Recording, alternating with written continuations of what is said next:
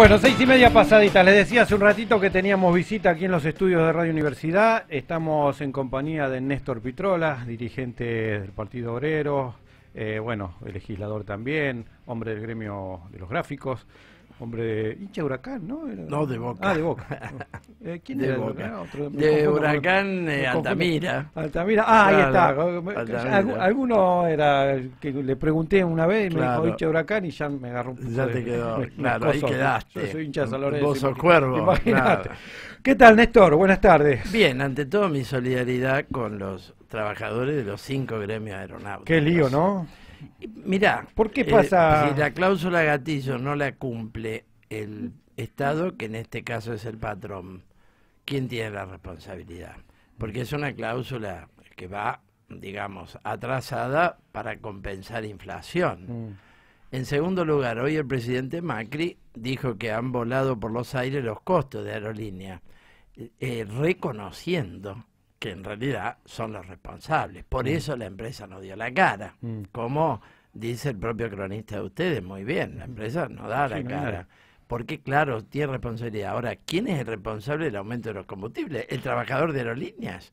¿Los No. usuarios? ¿Quién es el responsable del problema de los costos que han estallado en Sí, aerolínea? desregu- desregular el, el precio de los combustibles, devaluar la moneda. Pagarle a las empresas el doble y hasta el triple, depende del caso, del precio internacional en boca de pozo, Ahora- tanto del petróleo como del gas. ¿Quién es responsable? No, evidentemente, claro, son decisiones que ellos mismos Claro. Ahora, la variable de ajuste es la clase trabajadora. Saludamos el espíritu de lucha de los compañeros. Así tenemos que reaccionar todos de conjunto, porque el salario en la Argentina está hundido. eh, y no es verdad que ganen todos 200 mil pesos. Bueno, eso es otro bolazo de este pobre. Yo no quise criticar al, ahí al pasajero. Algunos sí, por ahí, un jerárquico, Sí, no un sé, piloto de muchos será años. un- pero un maletero, No. No creo que gane- La zafata tampoco. El administrativo Claro. tampoco. No, la gente dice cosas este, absurdas. Y por otra parte, el impuesto a la ganancia en los salarios, el presidente Macri había prometido eliminarlo y ahora lo pagan más de dos millones de argentinos. más que antes, ¿no? Más gente que antes. Un poco menos, pero más gente que antes. Y bueno, y a medida que ahora no suben los mínimos no imponibles y con semejante inflación y todo lo demás, Hoy escuchaba a uno de los dirigentes, creo que de APLA, el, de, el gremio de los pilotos, que mm, eh, decía que atrás de esto hay una clara intención privatizadora por parte del gobierno. ¿Sospechás que hay algo de eso? ¿Es una especie de poner en crisis, como han hecho en los 90, ¿no? Poner en crisis las empresas para que la gente se enoje, se, de financiarlas y, Sí, y permitir así tu- el ingreso de capitales privados. Ya tuvo Macri una crisis con Isela Constantini. Mm. Se fue. Nunca aclarado exactamente qué Se pasó. llevaba bien con los, Eh, con los claro, trabajadores. lógico. Este, y bueno, entonces voló. Mm. Eh, puede haber acá perfectamente una idea parecida al, al papel que jugó Extensor en IPF. Mm. Eh, Anarquizar una empresa, este, endeudarla, vaciarla. No venía ocurriendo con Aerolínea. En realidad las cuentas de Aerolínea están mejorando mucho. Y ha subido desde el 2012 hasta acá de 6 millones de pasajeros a 14 millones de pasajeros. Mm. Y es una línea que une el país. Tiene una función que no la van a cumplir los, los low cost. Ellos están en el negocio de esto del low cost, flexibilización laboral. Es parte del gran problema argentino. Esto viene bien porque en este momento el debate del día también es el bonito este, el bono trucho. De Cinco mil, 2.500 sí. pesos en noviembre y 2.500 en enero. Ojo, 5.000 uno dice, bueno, 2.500 en enero, donde vas a tener inflación de octubre, de noviembre, de diciembre, te comiste el aguinaldo, te comiste todo, y es una platita en negro por única vez cuando hemos tenido una evaluación del 110% y una inflación prevista entre el 48 y el 50. Sí, que encima no se sabe bien si se va a pagar, porque ya los Bueno. industriales dijeron, momentito, que nosotros eh, también estamos en crisis. Sí, el bono está en crisis. Sí. Ya el bono está en crisis. Lo único que ha servido para que todo el colaboracionismo sindical de la CGT levante el paro. Que primero iba a ser un paro activo, algo que nosotros hemos colocado en la agenda nacional. La verdad, desde la izquierda, los que venimos hablando de paro de 36 horas. ¿Por qué?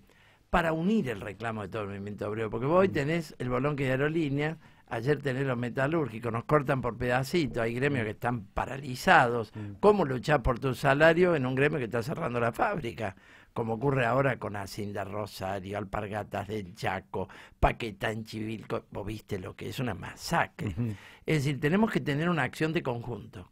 Y nuestro planteo del paro activo nacional de 36 horas es lo que puede permitir una movilización de tipo histórica para derrotar toda la política económica. Ahora es curioso, cuando la dirigencia gremial mm, tradicional, algunos de la CGT, algunos dirigentes, parecía como que empezaban a tener ganas de ponerse los pantalones y defender a la gente. Ahora pasa esta comedia del bono, ¿no? Esta cuestión que eh, no se sabe bien si fue un apriete del gobierno o una bomba de humo para desactivar una posible medida de fuerza o qué, pero resulta que de nuevo en crisis la representación sindical tradicional. Absolutamente. No, es una cosa de gran alcance. Eh, porque si vos promovés el arbitraje del Estado en materia de salario, estás atentando contra, la eh, contra el instituto de la paritaria, que es la mm. negociación colectiva. Esto tiene una importancia enorme. Si vos ves que en Brasil se ha implementado una reforma laboral tipo siglo XIX y que ahora Bolsonaro viene por más, mm. vas a tener la presión en Argentina de la Unión Industrial y todas las cámaras y dice, mira, en Brasil tenemos estos costos así, no hay más contratos colectivos, son no podemos competir, no podemos competir, y así siguen hundiendo a los trabajadores de todos los países que no por eso encuentran una salida, mm. porque ¿no? al propio Donald Trump, en el lugar eh, llamado a ser el único triunfador de la guerra comercial internacional, que es el emisor de la moneda, la nación más potente, la primera economía del mundo, el gendarme del mundo. Míralo por donde lo quiera, mm. acaba de perder la Cámara de Diputados. Entonces, eh, la, en la descarga de la ofensiva de la crisis capitalista sobre los trabajadores domina el mundo, y creo que es lo que ha llevado, bueno, al propio Macri, este, a pesar de todas las recortes y ajustes, en su tercer año a, un gobierno prácticamente acabado. Recién nombrabas a Bolsonaro. Y, Argentina un país quebrado. Mm, recién nombrabas a Bolsonaro, ¿no? Eh, ¿Qué nos espera a nosotros como vecinos, como socios históricos de, de Brasil? ¿Y qué le espera a la región, donde aparece ahora un nuevo viento de derecha que parece que va a arrasar con todos los derechos de los trabajadores, de las minorías, de los marginados? Sí, es un aspecto del problema, lo comentábamos recién, es una presión a la baja en todos los planos. Refuerza las tendencias xenófobas aquí. Ya ves un pacto Macri-Pichetto para agravar el Código Penal en un sentido represivo mm. y en un sentido antimigratorio es interesante. Mm. Es decir, que ya tenemos presente, antes que asuma Bolsonaro, movidas del gobierno Macri, que tiene una tendencia bolsonarista interna que podríamos personalizarla en Bullrich. Mm. No obstante lo cual, son diferencias de un régimen y otro. Macri para tomar un rumbo como el de Bolsonaro estallaría la alianza Cambiemos, veríamos muchas crisis y por otra parte el pueblo argentino no está en el cuadro de desmoralización que está el de Brasil. Mm. ¿no? Este es un aspecto. Ahora va a haber muchas contradicciones. Bolsonaro pintó nacionalista y dos meses antes cerró con, eh, puso un Chicago Boy, cerró con, mm. con la bolsa este, de valores de, San Pablo y, y, lo pasó a apoyar toda la clase capitalista y el capital internacional en Brasil, mm. una gran plaza del mundo y de América Latina. Ahora, de nacionalista no tiene nada, ¿no? Entonces puede tener un eje con Donald Trump en el discurso anti-inmigrante, anti-trabajador, anti-obrero, represivo, pero Donald Trump no busca socios, busca súbditos, mm. ¿no? Eh, ¿Y qué pasa? Ya tiene el primer quilombo, eh, porque Guedes dijo, no me importa el Mercosur. Bueno, la Federación de Industriales le dice, no, pero tenemos que mantener el acuerdo automotriz. Mm. El Mercosur nunca fue gran cosa, pero es un acuerdo de integración automotriz. Mm. Eso ya impacta muy fuertemente en la Argentina. Vos sabés que fuera de la soja, que es otro problema que va a tener Bolsonaro, este, eh, eh, la exportación argentina industrial es, sobre todo automotriz, es sobre todo a Brasil, en primer lugar, y tiene que ver con la integración automotriz. Ahí tiene un primer lío, después tiene un lío con la Fuerza Aérea porque quiere privatizar 200 mil millones de dólares en grandes compañías, Embraer, la continuidad de la privatización de Petrobras, Electrobras, y ya choca con la Fuerza Aérea que no quiere largar la fábrica de aviones. Bueno, Bolsonaro pasará por muchas crisis. Yo creo que la, la contribución más importante que podemos hacer en la Argentina es eh, derrotar a Macri.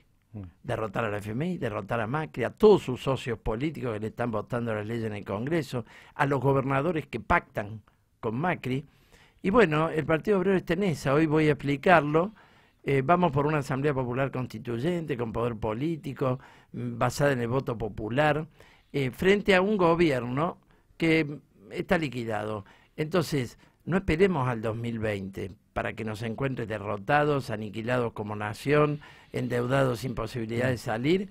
Eh, enfrentemos hoy este plan económico. Este es el reclamo de intervención de las organizaciones obreras y populares y dotamos de una perspectiva política que es la de una constituyente, ¿no? Reorganizar el país sobre otras bases. Nosotros tenemos un programa para proponer, con el petróleo, con la minería, con el comercio exterior, con la banca, este, el ahorro nacional si lo vamos a dejar en la ELICA al 70 o lo vamos a volcar para industrializar el país, queremos discutirlo.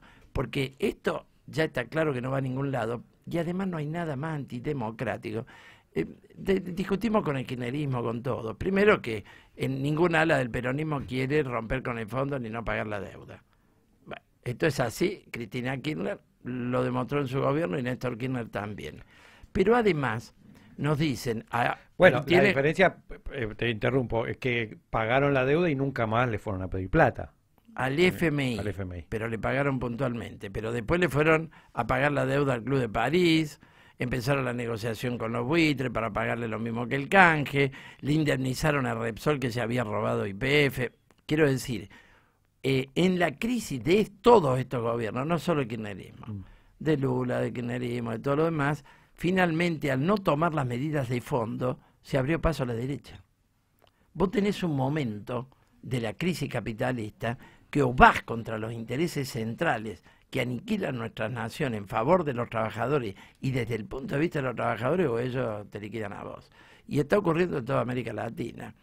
Entonces, eh, eh, nosotros en ese punto eh, discutimos el problema de esperar que Macri termine el mandato, porque este, este debate también lo tenemos con el peronismo. No, Macri tiene que terminar el mandato, cambiemos el modelo en el 2020. Eh, no nos parece democrático, porque Macri no dijo en las elecciones que iba a robarle a los jubilados, no dijo que iba a devaluar 110%, no dijo que íbamos a tener un plan del FMI. Si decía todo esto, ¿vos creés que ganaba octubre? No, pero claro que no. Ahora, y ¿Y cuál es la alternativa? ¿Qué, plantean ustedes? La Asamblea Popular Constituyente, ¿no? Que se convoque una constituyente que tenga poder político, no solo porque uno está acostumbrado a veces a Asamblea Constituyente que hacen como el Pacto de Olivo, reformamos un poquito algún sistema político. Nosotros hicimos una refundación económica y social del país en vistas a la crisis que tenemos. Somos con Turquía la noticia mundial. Mm. Somos un país quebrado. Vos sabés lo que acaban de bajarle la nota, la agencia Fitch. Sí. Le acaba de bajar la nota Argentina. Negativo le puso. Negativo. Quiere decir que estamos al borde del default, lo cual es obvio. Mm. ¿Por qué? Porque en el presupuesto este que no debe votarle el peronismo ni en el Senado ni debió votárselo mm. en diputados, estaba incluida en el, en el punto 53 la cláusula de reestructuración de deuda, a confesión de parte, mm. relevo de prueba. Quiere decir que el propio gobierno aún con el fondo, con el crédito, que es el más grande de la historia del FMI, está pensando que podemos caer en el default. ¿Te quedas un ratito antes de la actividad? Estaba por dar una charla a Néstor Pitrola aquí en la universidad, hablando de estos temas, de la coyuntura, obviamente, pero vamos a tener un ratito más después de la tanda. Eh, vamos a hablar de, la cuestión electoral, si te parece, del armado de la izquierda. Lo que vos preguntes. Lo, que viene. ¿eh? Acá aceptamos todos los rebotes. Bárbaro. Bueno, faltan 10 para las 19. A las 7 está prevista la charla de Néstor Pitrola aquí en, el aula 603. 603. Los esperamos a todos, igual si llegan 7 y cuarto. Es por este, culpa nuestra. Si llega tiempo. tarde Néstor. Pitrola es por culpa nuestra. que No, y no- encima me voy a tomar un café no después. tenemos- Che, no le, No, porque le- acá no me le invitaron, invitaron con un nada. café al Debo invitado. decirlo, Por es un estudio fantástico, los periodistas Sí, son pero te fantásticos. tienen la boca seca. Pero Te- café acá, no, no, me dieron una copa de agua fresca, debo Ah, bueno, ahí reconocer. está. No se le niega a nadie el agua fresca. Exactamente. Bueno, ahora, ahora le decimos a las chicas a ver si te, te arriman algo. Eh, bueno, mucha fuerza No, ya lo se... dije en broma, deja a las chicas No, en acá paz. nos tomamos la broma Deja a las chicas en paz. No, no, la producción, mira, ya salieron corriendo. Mira qué alborotados que están todos ahí. Eh, mucha fuerza, te decía, ya se están armando y empezando ya a preparar el, el escenario electoral de 2019. ¿Cómo se está preparando la izquierda? ¿Qué es lo que están eh, empezando a hacer? Ya a un año ¿no? de, de- de las elecciones, Claro. pero bueno, estamos en un fin de año donde está todo alborotado y hay que empezar ya a trabajar, ¿no? Claro, a un año es en este cuadro que la gente no llega a fin de mes, que tiene temor de perder el trabajo, con una educación en, en derrumbe, escuelas que en Moreno no arrancan. Es decir, el, suena eh, espantoso al, al oído popular y la gente tiene razón. Este, aquellos que están arma, eh, viste, enfocados Mm. en el alineamiento electoral y todo lo demás. Y hay una crisis política. El presidente Macri no tiene reasegurada su reelección, anunció su reelección en Washington, lo cual es lo Mm. peor que te puede pasar en este país, anunciarlo en Washington. Increíble. ¿no? Este, y, y, bueno, tuvo una crisis interna, Carrió le atacó dos ministros, a la Bullrich eh, este, y a Garabano, a uno le pidió juicio Mm. político. La Unión Cívica Radical salió a hacerse la, la cocorita contra el aumento de tarifa, que igual fue un curro porque Mm. dejaron pasar el 50%, ¿viste? Volvieron atrás con, con la cuotita, pero dejaron pasar el 50%. Es decir, tiene una crisis interna, es un presidente debilitado. Eso lo tiene que tomar en cuenta el movimiento obrero, el movimiento popular nos parece muy importante. Ahora el peronismo eh, no le va mucho mejor. Hay adelanto en 17 provincias ya confirmado. Mm. Es decir, que todo el mundo adelanta, ¿por qué? Porque no está garantizada la reelección de Macri y tampoco está garantizado el relevo por el lado del peronismo. Mm. Entonces dice, yo cuido mi quinta. Nosotros en este, en este escenario eh, intervenimos, estoy en una campaña de actos fantástica en todo el país, estuve el viernes en Córdoba, este, antes de ayer en Bahía Blanca, eh, Romina del Pla estuvo en Mendoza, antes estuve en Tucumán, Salta, Jujuy, Santiago del Estero, bueno, estamos recorriendo el país. Y antes de fin de año re- recorremos todo el país y buena parte de la provincia de Buenos Aires. ¿Por qué? Vos me decías, ¿es preelectoral? No, sí, no. El Frente de Izquierda interviene en esta crisis con propuestas para el trabajador que está luchando, para el estudiante, porque ha habido también grandes luchas estudiantiles, eh, a todo, la lucha de la mujer, que, que tuvo un revés, pero ha sido probablemente el movimiento más importante del Mm. año, creo con toda seguridad. Intervenir ahora en la crisis y después eso nos va a posicionar para la intervención electoral. Es decir, intervenir hoy en los realineamientos políticos, haciendo frente a esta, a esta situación desde el punto de vista de los trabajadores, ¿no? ¿Cómo, cómo, cómo explicás este fenómeno que ocurre con, con la izquierda? Porque mucha, mucha gente a veces, eh, con, con justa razón, dice, bueno, la izquierda le va muy bien en las comisiones internas, en las elecciones en los gremios, pero cuando tiene que dar el salto, el gran salto a nivel nacional, siempre queda ahí, como eh, con una buena elección mete dos o tres diputados, pero nunca tienen como... Te voy a dar una contestación medio brutal. Mm, Que este derrumbe de Macri no termina en un Bolsonaro, sino en un gobierno de los trabajadores como que ¿Crees el que que, puede- promueve el frente de izquierda.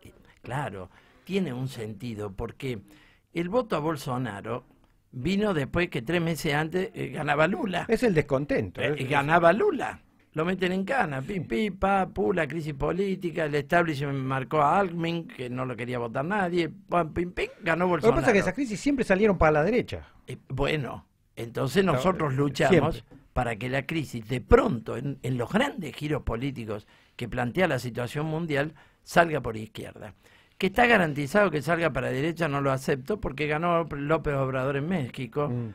porque el martes en Estados Unidos eh, sufrió un revés, Donald Trump perdió el control de la Cámara de Diputados. No fue tan grande la ola azul como podría haberse previsto, pero el tipo perdió la Cámara de Diputados. Y es interesante el fenómeno de que las grandes ganadoras, y digo las porque la mayoría son mujeres, hasta muchachas de 29 años, como la de Nueva York, mm. este, que han ganado con discursos sobre el problema del salario, el problema de la inmigración, el problema de la salud. Es decir, dentro del propio Partido Demócrata, toda una ala que llaman socialista. Es mm. socialdemócrata, no es nuestra izquierda, pero vos tenés esa tendencia a la polarización. Con lo cual yo no descarto un gran salto político del Frente de Izquierda en la próxima etapa. Eh, en algunas de las últimas marchas que hubo mm, convocadas por la CTA, por Moyano y demás, ustedes también estuvieron, con sus consignas, con su bandera, pero también se explicaron. ¿No hay chance de que se sumen a un gran armado opositor si la intención es que Macri desaparezca de la faz política de, Argentina. Digo, la izquierda no, no, no tiene em, en el horizonte hacer un gran armado con sus propuestas y con su modo de, de, entender El problema es que el gran armado es con la propuesta de ellos, no con la nuestra. Este es el punto. Históricamente, cuando las izquierdas se han metido en un frente con los partidos dominantes, históricos de la clase capitalista, mm. vos sos la pata izquierdita para apoyar un gobierno de mm. ellos, de ellos. Acá el problema es si gobierna Techín, si, si gobierna mm. Benito Rollo, este, si gobierna la Ford, si gobierna la minera, si gobierna el capital financiero, gobernamos los trabajadores. Nosotros vemos otra grieta, no la de Macri, anti-Macri. ¿Y quién es anti-Macri? Pichetto es anti-Macri. Urtubey es anti-Macri. No, ellos justamente no. es anti-Macri.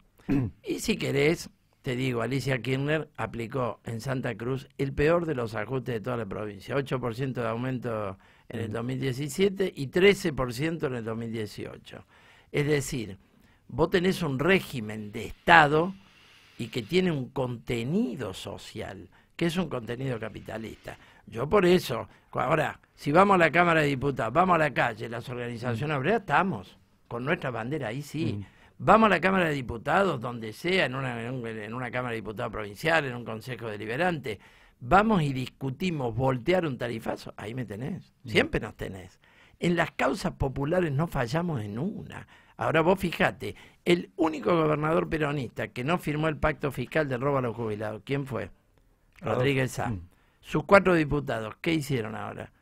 Dieron quórum y votaron. Es decir, enojado está el gobernador. Bueno, ¿qué quiere que te diga? Los diputados lo puso él, es un movimiento político, ahora se peleó con el hermano, es mm. un es un chiste. Mm. Es decir, gobiernan, eh, cambiaron por 380 millones este, eh, para cuatro municipios eh, el presupuesto del FMI. Y tenía este, este presupuesto, pero no se cumple. Dice, bueno, tanto lío por un dibujo. Ojo, primero es una guía de ataque a los trabajadores.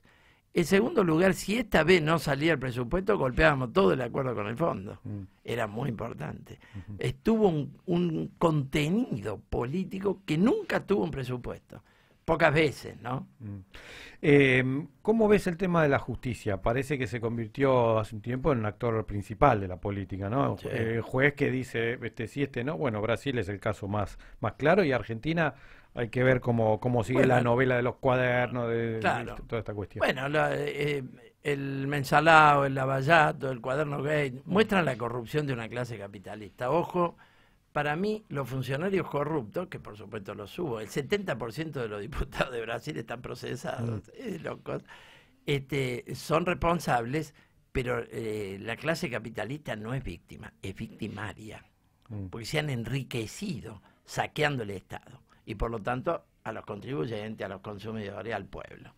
Este es el, la, la primera. es estructuralmente corrupto, digamos. No, exacto. Es la primera reflexión. El segundo tema, el manipulito italiano terminó en Berlusconi. Mira, mira, Néstor, perdona. Mira. No, no te eh, puedo creer. No, yo hago un chiste, me están trayendo un cortadito, que lo sepan todos los oyentes, un café fantástico. Eh, el manipulito italiano terminó, muchas gracias, compañera este, terminó en Berlusconi. Mm. Y el juez Moro terminó en Bolsonaro y ahora Moro es ministro futuro de Bolsonaro. La verdad que si lo hubiera escrito un guionista, Exacto, hay que darle el premio. claro, dice, no, mira, ¿cómo, ¿cómo no puede ser? este guion es ficción. Como después ponerlo a Bonadío, ¿no? De ministro, Exactamente. ministro de Justicia. Y bueno, ya se debe estar preparando. Claro. Ya se debe estar preparando, no te quepa ninguna duda. Entonces, la justicia no es independiente, es una justicia de régimen, de clase. Nosotros promovemos transicionalmente la elección de los jueces por el voto popular. ¿Es factible eso? Sí, lógico. Todo es factible. Pero ¿y cómo lo implementás? En otro, en otro régimen, ¿no? Tenemos, por eso digo, el tema de la Asamblea Constituyente es fundacional, es separación de la requiere un cambio, Requiere un cambio de constitución, no, no una refrescada, sino un cambio, una nueva constitución. Por supuesto. Cuando decir, para nosotros sería un tránsito hacia un gobierno de trabajadores. Es una refundación del país. Es una idea de fondo. Pero si vos mirás, eh, lo de Bolsonaro es muy grave. Que sea con el voto popular es todavía más grave finalmente Hitler fue votado. Y Mussolini entró a Italia con la Gran Marcha, ¿no? Es decir, son regímenes que tuvieron apoyo popular para armar a la clase media contra los trabajadores, contra los judíos, contra todos los demás. Bolsonaro no tiene hoy esa condición, pero lo pretende y tiene el apoyo de las Fuerzas Armadas. Es un gobierno virtualmente cívico-militar, porque es una camarilla militar que ha copado las instituciones y, que viene de dos hechos golpistas, eh, la destitución de Dilma y la cárcel de Lula, que fueron hechos golpistas, una justicia que siguió órdenes militares. Eh, bueno, hasta hace poco eh, los gobiernos autoritarios entraban a la fuerza tirando tiros, ahora entran con el voto. Y eso los hace más peligrosos. eso, es lo que hablábamos la vez pasada, que eh, acá en el programa eh, intentábamos eh, entender qué es lo que pasa por, por la cabeza de la gente. Está bien que están los medios de comunicación, ¿no? Que hacen su esfuerzo, ¿no? Por, por guiar las, las mentalidades de, de los votantes, ¿no? Pero nosotros siempre decimos, ¿no? Tiran semilla, pero hay una tierra fértil ahí. Hay gente que está apoyando eh, la, xenofobia. Ah, estoy hablando de Brasil, estoy hablando también de la Argentina. ¿Qué es lo que sucede con la gente que es capaz de votar en detrimento de sus intereses? Eso ocurre por un proceso de descomposición del sistema político. Es decir, hubo 12 años de gobierno del PT y la responsabilidad del PT en el ascenso de la derecha es enorme si vos mirás eh, el, caso mm, del Lavallato, eh, lo que refleja es, esto, es eso.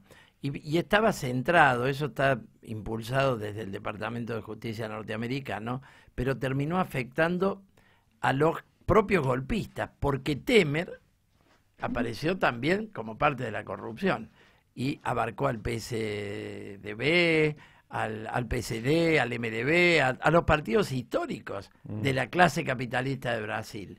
Bolsonaro surge como resultado de la debacle de todo un régimen, de todo un régimen. Y, eso tiene mucho que ver. Es decir, no, no.